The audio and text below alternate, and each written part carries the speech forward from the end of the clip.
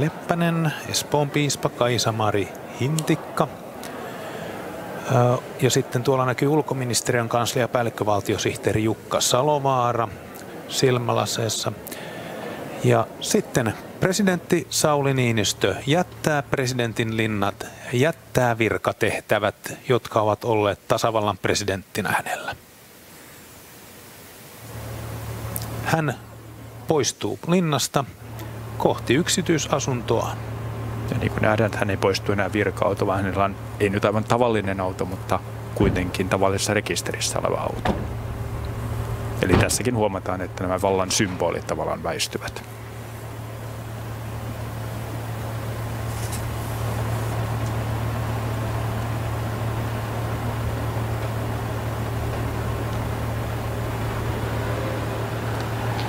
Ja näette kuvassa presidentin kabinetti, adjutantit, lähimmät työtoverit olivat jättämässä hyvästejä presidentille tässä tilaisuudessa.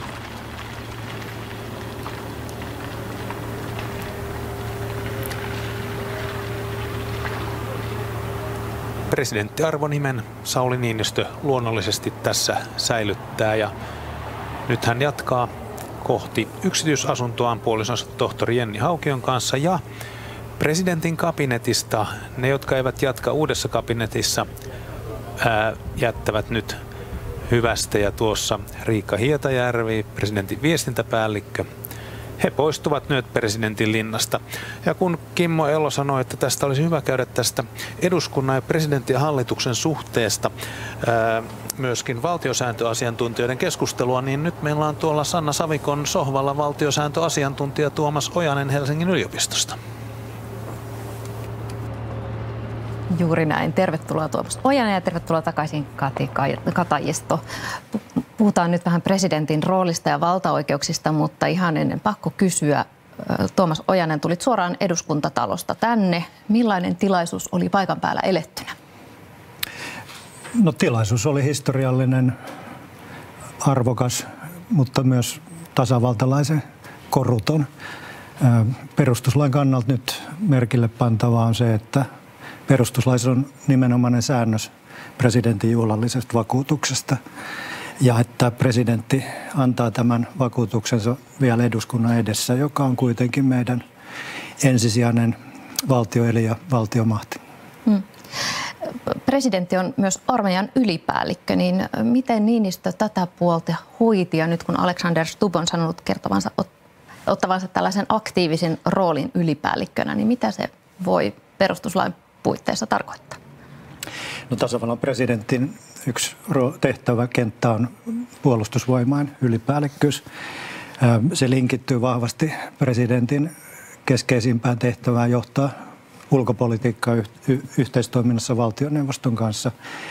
Sen lisäksi tietyt muut perustuslain sääntelyt koskee ja linkittyy siihen, mitä se nyt käytännössä tarkoittaa, niin puolustusvoiman ylipäällikkönä presidentti tekee osaltaan ratkaisuja Suomen puolustuksen sotilaallisen puolustusvalmiuden keskeisistä ratkaisuista, ylipäätään sellaisista laajakantoisista periaatteellisista ratkaisuista, jotka liittyy puolustusvoimiin. Sitten oman lukunsa työsarkansa siellä on niin sanotut sotilaskäskyasiat ja, ja niiden tasolla on sitten yhtä ja toista tekemistä.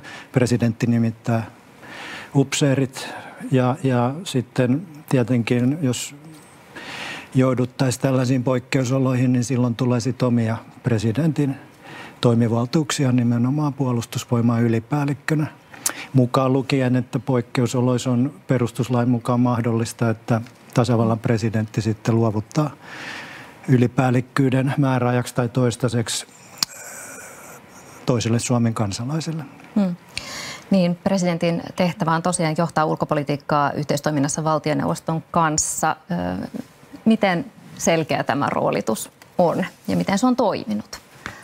No, se tällä hetkellä on isossa muutoksessa tämän NATO-prosessin myötä. Ja nyt nimenomaan, jos aikaisemmin ollaan pohdittu sitä, että miten eduskunta pidetään mukana tässä NATO-prosessissa, tieto kulkee, voidaan verrata EU Euroopan unionin liittymiseen. Silloin tehtiin muutoksia, että eduskunta on varmasti mukana tässä prosessissa ja tieto kulkee, niin nyt on sitten herätty siihen, että onko tämä vallan tasapaino järkynyt jollain tavalla, että samalla lailla täytyisi eduskunta ottaa huomioon sitten, että miten tämä NATO vaikuttaa sitten eduskunnan ulkoasiainvaliokunnan oikeuteen saada tietoa ja olla ajan tasalla se tiedosta, että eduskunnan ulkoasiainvaliokunnalla on tietysti ihan perustuslain mukaankin oikeus saada tietoa, mutta nyt varmaan se että se tieto kulkee todella ajankohtaisesti, niin se on uusi kysymys. Ja myös se, mikä liittyy tähän ylipäällikkyyteen, että liittyykö tähän NATO-prosessiin sitten sellaisia asioita,